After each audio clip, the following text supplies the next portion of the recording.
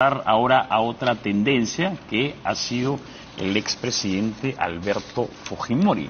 Tenemos un video, vamos a verlo.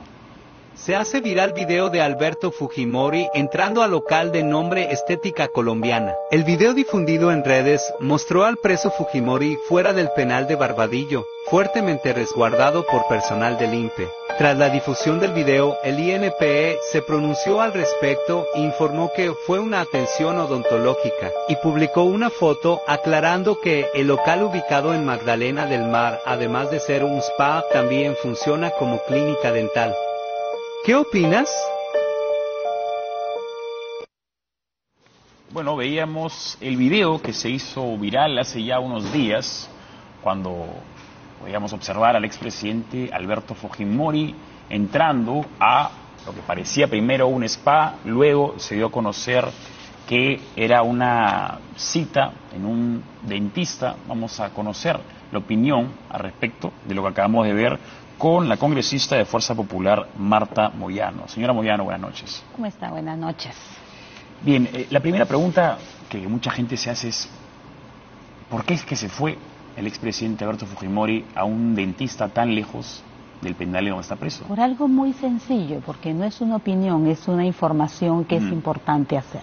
Sí. Porque el presidente Fujimori se trata hace, desde el año 2019 y antes con otro médico, sus, eh, sus problemas dental con la doctora Carmen Encina desde el año 2019 y ese es el, el, consultorio de la doctora. Claro. Entonces la doctora tiene una relación de hace muchos años con el presidente Fujimori y con un acercamiento mm, muy amical con la mm. familia. Entonces él tiene un tratamiento ahí y el tratamiento que le hacen es a través de una, una prótesis dental que se le llaman férula, los mm. dentistas lo saben mejor que, que yo por supuesto, que mide un poco su presión dental. Él tiene, eh, saben ustedes, un tratamiento, además que, que eh, de cáncer en la lengua, y yo supongo que es por eso también que tienen que hacerle y medirle la... y antes del 2019, antes de Se atendía con el doctor... Eh, ¿Siempre fue afuera del penal? Siempre fue No hay dentro instalaciones para que no vaya No hay dentro instalaciones una, un lugar de dentistas. Y lo otro es que quiero decir algo. Eh, ¿Cómo es posible que en algún que, que, que, la gente que lo odia al presidente, que felizmente no son muchos, ¿no? Eh, esperan cualquier momento para empezar a hacer la crítica, ¿no? Y lo que debemos decir claramente es que el odio no deja espacio para el amor ni para la inteligencia, porque si aplicaríamos un poquito eso, entenderíamos que no solamente están eh, queriendo implicar al presidente Fujimori en un acto supuestamente fuera de, de lo normal o de la norma o lo que fuera, sino que además implicarían al INPE. ¿No? O sea, ¿cómo puede moverse todo un equipo para poder trasladar al presidente Fujimori a lo que ellos quisieron dejar dar a entender que iría a un spa, ¿no? Eh, donde en, esa, oficina, en ese lugar hay dos eh, oficinas. Una no tiene nada que ver con la otra, pero la, la, clínica dental se llama Nice Dental Spa. Ese es el nombre de la, de la clínica donde trabaja la doctora. Ahora, siguiendo un poco lo que he podido, las teorías de estas personas un poco mal pensadas, que tal vez usted como, como mencionaba, que sugieren teorías en, las redes, que se dice todo sin ningún filtro en este mundo paralelo. ¿Por qué es que va esa dentista si es que no es particularmente la, gran dentista de Lima, no? Si en todo caso tuviera que elegir él un dentista que, fuera adecuado para su salud, uno Cuando uno elige a un dentista, primero tienes que tener la confianza ¿no? Supongo, pero además es su, es su dentista, uno decide quién es su médico. ¿no? Y es su dentista que lo atiende desde, desde el año 2019. Además tenía otro dentista que también lo atiende desde hace 10 años. Entonces, eso, eso, es lo, eso es lo que hay que aclarar y me parece absurdo que tengamos que decir eh, eh, por qué este dentista y por qué no otro, porque es una decisión que que, tiene y que además su propio médico que lo acompaña le, le, dice ¿no? hacia dónde debe ir. Pero quiero mencionar algo que nosotros no debemos dejar pasar. Fíjese que estamos tratando un tema como este, de a dónde va eh, el expresidente Alberto Fujimori, que es un hombre que tiene más de 80 años y que tiene una enfermedad que todos sabemos y que tiene, ser, que tiene que ser trasladado para que lo traten, pero justo hoy día, por eso quiero mencionarlo, hoy es 8 de agosto, es el día en que ese presidente, ese hombre al que están criticando, tuvo la valentía de cambiar el, el problema económico de este país. Y planteó el milagro que le llamamos el milagro económico del Perú un 8 de agosto. ¿Cree que por eso es que ha sido tendencia Entonces, no, yo quiero mencionarlo hoy día porque es importante que la gente sepa, que la juventud sepa, que un día como hoy, 8 de agosto, 8 del 8, y el 8 es el, es el número, le dicen, del infinito, ¿no? Eh, él tomó esa decisión de hacerlo. Yo quiero mencionarlo hoy. Bien, veamos el tuit de la congresista Susel Paredes, justamente volviendo al tema de lo del dentista. Lo tenemos en pantalla. Dice, he pedido al INPE explicaciones sobre la salida del interno Alberto Fujimori Fujimori. Eh, mi pregunta para usted, señora Moyano, es, eh, ¿puede una persona que está en el penal decidir a qué dentista va? ¿Está dentro de sus derechos? está dentro de sus derechos, además si es que tiene un eh, médico. ¿Es válido el cuestionamiento de la señora Paredes? bueno, la señora Susel Paredes este, cuestiona cualquier cosa, ¿no? Eh, también un día va a decirle usted por qué está en esta mesa blanca y por qué tiene que ser redonda. Ella quiere que sea cuadrada. O sea, la verdad es que yo no, no tomo en cuenta su, su cuestionamiento, pero es congresista y puede pedir la información que quiera y se la van a tener que informar, por supuesto que sí. Ahora, eh, también se mencionaba que había, que esta señora, la, señora Carmen Encinas, es una militante o una simpatizante acérrima del Partido Fuerza Popular y luego también se está formando otras teorías que el padre de esa señora también había sido un aportante, que había sido candidato al Parlamento andino. Bueno, fue candidato, su padre fue candidato, sí, por el Fujimorismo eh, entonces también allí tenemos una explicación de por qué la relación y la confianza que puede tener uno en su médico, ¿no? Todos sus médicos son fujimoristas. La verdad es que eh, esas preguntas que se hacen estas personas odiadoras con ausencia de amor, repito, y de inteligencia, es absurdo para mí. ¿Por qué, ¿Por qué este dentista y por qué no el otro? Es una, para mí, absurdo. Bien. Luego también eh, había una, crítica que era que varias veces hemos visto al expresidente Alberto Fujimori eh, respirar con algunas dificultades, estaba con oxígeno, caminaba con ciertas dificultades, pero estas personas que usted las ha escrito muy elocuentemente cuestionan que ahora se le vea caminando con, mucha salud. Bueno, estuviera mejor de lo que dice. El presidente es Fujimori, es una persona de 80 años camina con dificultad propio de su edad, ¿no? Eh, vuelvo a repetir, estas personas se están encargando de ver hasta cómo camina el presidente Fujimori y la verdad que están siendo bastante, em, no quiero decir una palabra fea por el programa, pero la verdad es que están siendo bastante necios, ¿no? En eh, querer calificar hasta de cómo camina el presidente. El presidente tiene una enfermedad tiene más de 80 años, está siendo tratado por su enfermedad. El doctor Aguinaga es su médico de cabecera, es quien tiene la información de toda su situación médica de salud y en cualquier momento lo pueden entrevistar y en cualquier momento también hay información que deberían, ojalá pudieran tenerla, acerca de su problema eh, bucal, ¿no? que es importante que se, que se, que se maneje, pero el asunto de la salud de las personas y la información de la salud de las personas es algo íntimo también, ¿no? Ahora, eh, hace unos instantes, al comienzo de la entrevista, usted mencionaba este grupo de antis, indiferentemente si es un grupo pequeño o mayoritario, pero muchos de estos anti-fujimoristas no vivieron la época fujimorista. ¿Por qué es que hay muchos jóvenes con menos de 23 años? Por algo muy sencillo eh, que lo hemos dicho varias veces, ¿ah? desde el año 2000 eh, la caviarada, lo decimos así abiertamente, tomó el Estado. Y tomó el Estado básicamente el Ministerio de Educación. Y entró a las mentes, de la memoria, a través de los, eh, de los libros de los niños.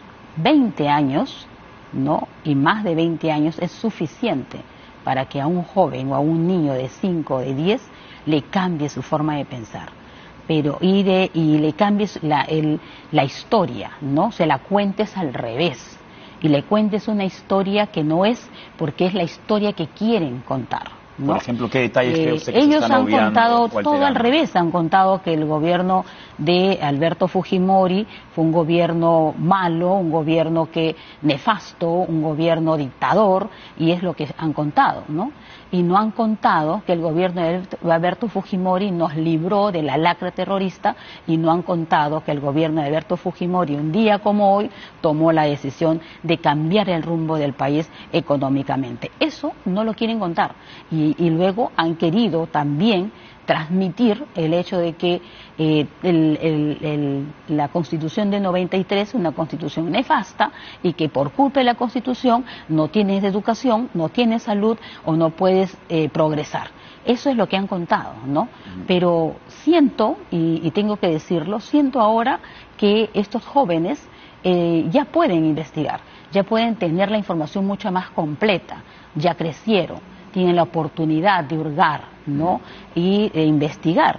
Y además de que nosotros podamos eh, empezar a contar la historia real de lo que pasó en el Perú y de lo que está pasando también, que es importante, y que ellos aprendan a discernir entre lo que le dijeron, entre esa historia que le contaron y esta historia real. ¿no? Bien, ahora, eh, recientemente el congresista Elvis Vergara de Acción Popular dijo que estaría de acuerdo con el indulto. Hace algún tiempo que no escuchamos a miembros de Fuerza Popular proponer nuevamente. Bueno, no, eh, eh, personalmente, y muchos de Fuerza Popular, su familia y todos los militantes de Fuerza Popular, el pueblo fujimorista, porque nosotros tenemos un pueblo fujimorista, siempre está en las calles hasta ahora último, mm. gritando al Fujimori libertad. Pero en el Congreso. Yo personalmente considero que él debería estar en libertad ya, ¿no?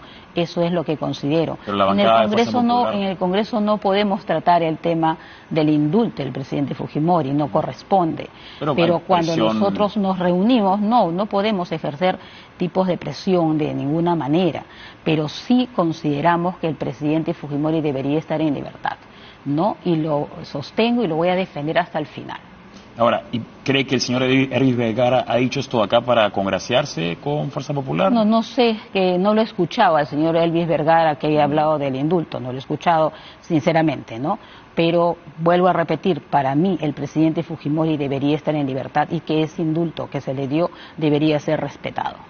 Eh, ahora bien, usted evidentemente tiene una relación, ya sea cercana directamente con el expresidente Alberto Fujimori o con sus familiares. Él se encuentra actualmente eh, con Castillo y con, con el señor Toledo, ambos también expresidentes. ¿Sabe usted si es que ¿Están en comunicación entre sí? ¿Hay comunicación entre ellos? No, no hay comunicación porque están en diferentes ambientes. ¿Pero de manera indirecta tal vez? No lo sé. Yo personalmente no sé si hay una comunicación indirecta o no, pero no hay, los ambientes no están cerca, no hay forma de que se puedan conversar. Y bueno, mucha gente especula cosas porque tiene su derecho a hacerlo, pero no, no hay forma de, de ninguna comunicación entre ellos. Bien. Ahora, Usted también va a presidir la Comisión de Constitución. Bueno, mi bancada ha votado para que yo sea una de las candidatas de la presidencia de la Comisión de Constitución pero todavía no soy la presidenta de la comisión. Habrá ah, esta semana que habrá las elecciones, sí, puede ser que la presida, y hay elecciones en... Habrá ya la, instalación de las comisiones viene la próxima semana, supongo. Si fuera usted la presidenta de la comisión, ¿cuál será su prioridad en esa comisión? Bueno, primero las prioridades que se están estableciendo son los lo que está en la agenda. Eh, uno como presidenta no puede establecer prioridades, pero lo que sí puedo decir es que sobre mi cadáver, Asamblea Constituyente. ¿Por esa razón es que la bancada de Fuerza Popular buscó presidir esa comisión? Para no, la, la bancada tiene eh, la Comisión de Constitución desde que ingresamos. Uno, el primer criterio es porque es una constitución que nosotros defendemos y que además eh, contribuimos como fujimoristas a que se cree, ¿no? Eso es primer criterio, y porque la vamos a defender hasta el final, y creemos que por eso es que tenemos esta, la presidencia de esta comisión.